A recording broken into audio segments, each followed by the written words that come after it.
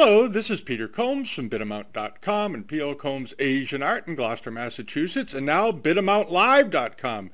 As many of you know, we've been working on a platform. We started it last summer, last July, trying to develop a platform, a seller platform for Asian art dealers uh, to, to, put their, to put their goods out there, to let collectors find them in a friendly atmosphere for collectors to come and buy things. Uh, we, we let all of you know, and we asked for your advice. What did you want? What would you like to see in a website uh, that's sold uh, online, the, the, what you would like to see, what you don't want to see. We got hundreds of suggestions. We got phone calls from people with good ideas, and they were all very much appreciated. And we tried very hard to incorporate them all into what we've built here. Okay, uh, we heard very loud and clear you don't want to see fakes, copies, and reproductions on here. And I agree totally. As you know, we spend a lot of our time talking about fakes and copies in the market today. They're not going to be allowed. That's all there is to it. And uh, as many of you know, we're quite good at spotting copies. And if we see something that doesn't look right, we're going to tell the seller and we're going to yank the thing. All right. Um, we want people to uh, have plenty of options on how to pay. We want dealers to have options on how they want to get paid for their goods. We're not going to force you into some crazy program. Uh, you know, some sort of, you know, the way eBay has lately with this silly managed payments business. You can accept credit cards. You can accept, uh, uh, you know, PayPal, checks, whatever you want, or whatever you want. And as far as the costs and fees goes, it's free to join.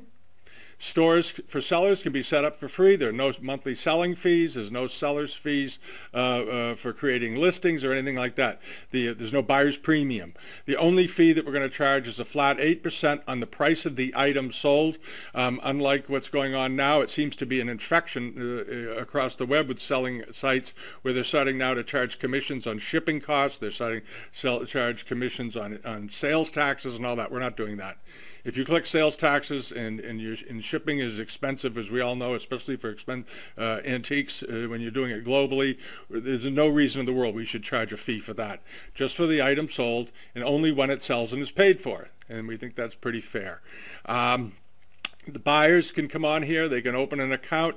Opening an account is very, very easy. Uh, there's no no hurdles to go over. If you've opened an account anywhere else on the internet, which 99% of you have, it's the same thing. It's a, it's it's it's an email address, password, fill out your uh, profile, submit, and then when you buy something, you'll be given options on how you want to pay for it, and um, you just enter those that information at that time, and uh, that'll be it. It's all it's all explained. We're going to have some videos on the site over in the uh, in the margins here. There's a help and information uh, section here, and on the margins of these pages on the right-hand side, we'll have some videos on how to set up things and how to go about it. It's all very simple, and I hope you like it.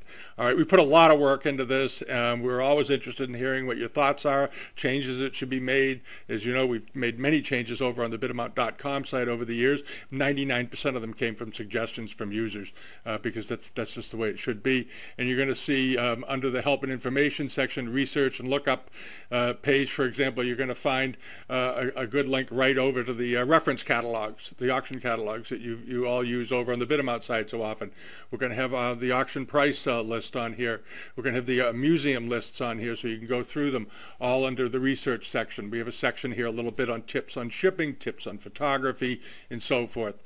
we want this to be a very friendly place for people to do, do some business, to buy and sell, collect, um, and so forth. If you're a seller currently, um, we're, we're recommending right now that uh, you only put up fixed price items. We want them until we do the auctions. The site is do is, is able to do auctions, but we don't want to do auctions until we have enough traffic to make them successful all right? And, you, and we're going to monitor the traffic very, very carefully. And when we think we're there, it'll be pretty obvious. And then we can start uh, encouraging people to try maybe a, a, small auctions or maybe we'll do an event auction or something like that.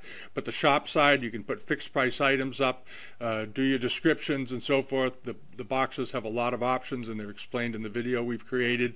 Uh, some extra options, uh, things that you can do that'll help you sell better. And um, if you're selling uh, items right now, if you have some of your items currently listed on other sites, list them over here. I think I think you, if they sell here, you're going to save a lot of money on commissions, and you'll start to build a base. On your store, if you're a seller, you can create your own profile. You can put links to your own website on there. There's all kinds of stuff you can do. We're not we're not putting limits on people. We want people to have an open market, and um, we'll see how it goes. Okay. Thanks so much, and uh, join us. There's a link below uh, if you want to go over and check the site out. And thanks so much for watching. Bye-bye.